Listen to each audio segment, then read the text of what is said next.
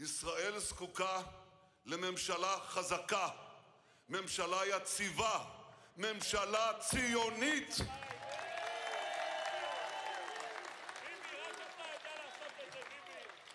ממשלה שמחויבת לישראל כמדינת הלאום של העם היהודי. לא תהיה ולא יכולה להיות ממשלה שנשענת על מפלגות ערביות אנטי-ציוניות. גדול, ביבי! לבריאות